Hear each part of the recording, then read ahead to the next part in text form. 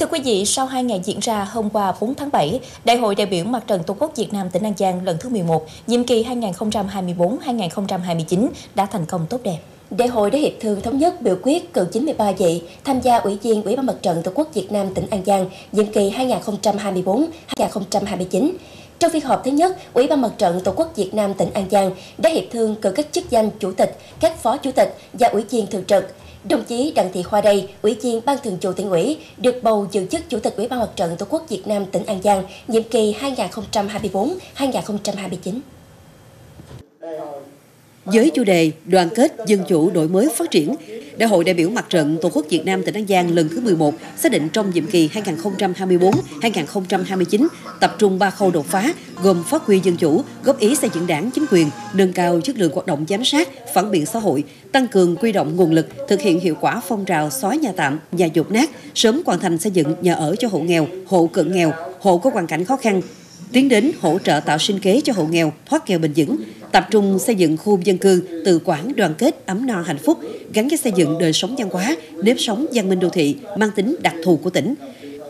Đại hội cũng đề ra 10 chỉ tiêu chủ yếu của nhiệm kỳ là phối hợp các tổ chức thành viên và các ngành có liên quan, tổ chức tuyên truyền các chủ trương nghị quyết của đảng, chính sách pháp luật của nhà nước, chương trình của mặt trận các cấp trong cán bộ mặt trận đạt 100%, trong các tầng lớp nhân dân đạt 80% trở lên, tiếp tục duy trì và nâng cao chất lượng hai cuộc vận động toàn dân đoàn kết xây dựng nông thôn mới đô thị văn minh, người Việt Nam ưu tiên dùng hàng Việt Nam và phong trào thi đua đoàn kết sáng tạo, nâng cao năng suất, chất lượng hiệu quả, hội nhập quốc tế ở quỹ ban Mặt trận Tổ quốc Việt Nam các cấp trong tỉnh và 100% khóm ấp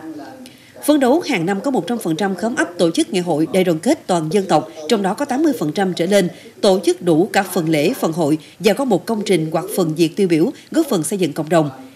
Trong nhiệm kỳ, tổ chức hướng dẫn 100% các huyện, thị xã, thành phố tổ chức lấy ý kiến sự hài lòng của người dân về kết quả xây dựng xã đạt chuẩn nông thôn mới, nông thôn mới nâng cao, nông thôn mới kiểu mẫu, phường, thị trấn đạt chuẩn đô thị văn minh, thực hiện tốt việc xây dựng khu dân cư tự quản, đoàn kết, ấm no, hạnh phúc. Hàng năm tổ chức vận động quyên góp, nguồn lực ủng hộ quỹ vì người nghèo các cấp trong tỉnh đạt 200 tỷ đồng, bao gồm tiền mặt và hiện vật quy tiền, phấn đấu trong nhiệm kỳ, Quỹ ban Mặt trận Tổ quốc Việt Nam các cấp trong tỉnh hỗ trợ xây dựng mới ít nhất 7.500 căn nhà đại đoàn kết, nhà tình thương, 100% hộ nghèo cận nghèo được Quỹ ban Mặt trận Tổ quốc Việt Nam các cấp trong tỉnh thăm hỏi tặng quà nhân dịp lễ hoặc Tết và hỗ trợ giúp đỡ khi gặp khó khăn đột xuất, phấn đấu đến cuối năm 2025 hoàn thành việc xóa nhà tạm, nhà dột nát trên địa bàn tỉnh theo phát động thi đua của Thủ tướng Chính phủ và lời kêu gọi của Quỹ ban Trung ương Mặt trận Tổ quốc Việt Nam. Hàng năm phấn đấu, Quỹ ban Mặt trận Tổ quốc Việt Nam cấp tỉnh tổ chức từ hai chương trình, nội dung giám sát cấp huyện và cấp xã, căn cứ tình hình và điều kiện thực tế, lựa chọn nội dung và hình thức giám sát phù hợp để tổ chức triển khai thực hiện. Tổ chức ít nhất một đợt giám sát đối với việc tu dưỡng rèn luyện đạo đức, lối sống của người đứng đầu, cán bộ chủ chốt và cán bộ đảng viên. Hàng năm cấp tỉnh tổ chức phản biện 2 đến 3 dự thảo văn bản cấp huyện và cấp xã, căn cứ tình hình thực tế tại địa phương, có tổ chức hoặc phối hợp tham gia phản biện xã hội, góp ý các dự thảo văn bản do cấp quỹ chính quyền đề nghị và tổ chức ít nhất một cuộc đối thoại giữa người đứng đầu cấp quỹ chính quyền với nhân dân. Đến cuối nhiệm kỳ có ít nhất 95% cán bộ mặt trận Tổ quốc Việt Nam cấp xã và trưởng ban công tác mặt trận trong tỉnh được bồi dưỡng tập huấn nghiệp vụ chuyên môn công tác mặt trận. Hàng năm, có ít nhất 90% quỹ ban mặt trận Tổ quốc Việt Nam cấp huyện cấp xã được xếp loại hoàn thành tốt nhiệm vụ trở lên, ít nhất 90% ban công tác mặt trận được xếp loại thi đua từ khá trở lên. Phấn đấu đến cuối nhiệm kỳ, 80% số hồ sơ công việc của mặt trận Tổ quốc Việt Nam các cấp trong tỉnh được thực hiện chuyển đổi số và ứng dụng công nghệ thông tin trong hoạt động. Bộ Chỉ huy quân sự tỉnh An Giang vừa phối hợp Liên hiệp các hội văn học nghệ thuật tỉnh tổ chức tổng kết trao giải cuộc thi ảnh thời sự nghệ thuật lực lượng vũ trang tỉnh An Giang năm 2024.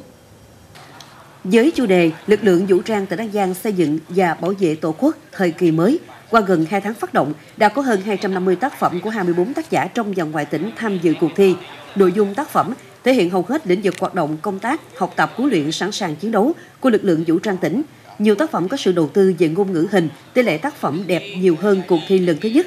Ban tổ chức cuộc thi đã chấm chọn 11 tác phẩm xuất sắc nhất để xếp hạng trao giải. Tác phẩm diễn tập phòng cháy chữa cháy và cứu nạn cứu hộ của tác giả Trần Kim Luận đoạt giải nhất. Giải nhì thuộc về tác phẩm về nguồn của tác giả Nguyễn Phúc Đoan và chân dung chiến sĩ mới của tác giả Lê Hữu Nghĩa. Giải ba thuộc về tác phẩm Thăm chú bộ đội của tác giả Quỳnh Thanh Hùng và Dược rào của tác giả Nguyễn Giang Sẵn Ngoài ra, ban tổ chức còn trao 5 giải khuyến khích cho các tác phẩm xuất sắc. thông qua cuộc thi nhằm đẩy mạnh tuyên truyền về hoạt động quân sự quốc phòng của lực lượng vũ trang tỉnh, thiết thực chào mừng đại hội thi đua quyết thắng lực lượng vũ trang tỉnh An Giang giai đoạn 2019-2024, chào mừng kỷ niệm 80 năm ngày thành lập Quân đội Nhân dân Việt Nam. 22 tháng 12 năm 1944, 22 tháng 12 năm 2024 và 35 năm Ngày hội Quốc phòng toàn dân 22 tháng 12 năm 1989, 22 tháng 12 năm 2024. Thưa quý vị, Hè đến cũng là thời điểm thường xảy ra các vụ tai nạn đuối nước, nhất là ở trẻ em. Do đó, để giúp học sinh có mùa hè an toàn bổ ích, phòng tránh tai nạn thương tích, cùng với các cấp ngành và địa phương, các trường học trên địa bàn huyện Phú Tân đã tăng cường tổ chức các lớp dạy bơi để trang bị kiến thức kỹ năng cho các em tự bảo vệ mình, giảm thiểu nguy cơ đuối nước trong cộng đồng. Tại trường tiểu học A Tân Hòa, huyện Phú Tân, từ đầu năm học 2023-2024 đến kỳ nghỉ hè này, đều đặn mỗi tuần 3 buổi, học sinh được tham gia các lớp dạy bơi do nhà trường tổ chức. Các em được giáo viên hướng dẫn các kỹ năng cơ bản về bơi cũng như các biện pháp phòng chống tai nạn đuối nước. Sau khoảng 10 ngày học bơi, nhiều em học sinh đã biết bơi bằng những kỹ thuật cơ bản. Con được thầy cô hướng dẫn rất chu đáo về những cái kỹ thuật bơi đơn giản như bơi ếch, bơi ngửa. Đến nay thì con cũng biết bơi, nữa con có thể đi tắm sông bất cứ lúc nào cũng được. Con được thầy cô dạy bơi nên con biết bơi. Biết bơi và không có sợ bị đuối nước, giúp con rèn luyện sức khỏe. Còn đây là lớp học bơi tại trường tiểu học B Phú Mỹ. Hồ bơi được Phòng Giáo dục và Đào tạo huyện Phú Tân trang bị cho nhà trường từ năm học 2022-2023, thuận tiện trong việc dạy bơi cho học sinh của trường và các trường trên địa bàn thị trấn Phú Mỹ. Giáo viên tận tình hướng dẫn các kỹ năng bơi lội cho các em. Lớp phổ cập bơi trở thành hoạt động thể thao ngoài trời vừa bổ ích cho việc rèn luyện sức khỏe, vừa trang bị kỹ năng sinh tồn nếu không may bị đuối nước tạo hứng khởi cho các em khi tham gia và phụ huynh cũng an tâm khi còn biết bơi học bơi đối với học sinh trong nhà trường thì thật sự rất là cần thiết. Tại vì trong khi quá trình vui chơi ao hồ sông suối tránh được cho trẻ em nó cái tai nạn đáng tiếc xảy ra. Dạy theo cái quy trình bé sẽ làm quen từ từ đối với môi trường nước. Khi mà quen rồi thì dạy những cái động tác bơi cơ bản để bé hình thành được cái cái cái, cái kỹ thuật kỹ thuật bơi. Trường sẽ tổ chức một khóa à, bơi vậy là khoảng 10 ngày thì à, trong à, 10 ngày đó đó, thì em sẽ được lãnh hội kiến thức từ từ và hình thành được cái kỹ năng bơi cơ bản. Gần sông nước không sợ nữa, cho nó học bơi nó biết lội đi đường cũng không sợ nữa. Đó. rồi với lại à, mình hay đi đây đi đó, đi ra ngoài ba mẹ nó mặn ở đồng nai quá đó, qua sông qua suối. Đó, rồi phải cho nó biết lội mới được, nó bảo vệ thân nó từ năm học 2022-2023, Phòng Giáo dục và Đào tạo huyện Phú Tân đã đầu tư lắp đặt 14 hồ bơi di động cho các trường tiểu học trên địa bàn huyện. Các hồ bơi được trang bị đầy đủ các thiết bị hiện đại, đáp ứng tiêu chuẩn an toàn và vệ sinh. Đây là điều kiện giúp các trường thực hiện công tác phổ cập bơi cho học sinh trong trường học, tạo cơ hội để các em tiếp cận kỹ năng bơi lội và phát triển thể chất toàn diện, đồng thời còn là biện pháp hữu hiệu để giáo dục kỹ năng sống và phòng chống tai nạn đuối nước, giảm thiểu nguy cơ đuối nước trong cộng đồng. Thì qua năm học 22-23 rồi năm 23-24 thì nhà trường từng bước là phổ cập bơi cho em đầu tiên là phổ cập bơi lớp 5.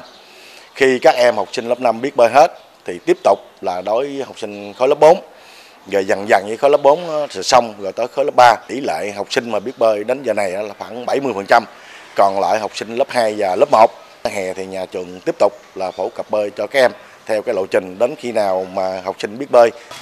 Do đặc thù là quyền Cù Lao với nhiều sông ngòi kênh rạch nên việc dạy bơi cho học sinh có ý nghĩa rất quan trọng. Các lớp học bơi được mở ra đồng nghĩa với việc trao cho trẻ một kỹ năng sống cần thiết, giảm thiểu đến mức thấp nhất tình trạng đuối nước cũng như tai nạn thương tích cho trẻ trong mỗi dịp hè, bảo vệ và nâng cao thể chất những mầm non tương lai của đất nước.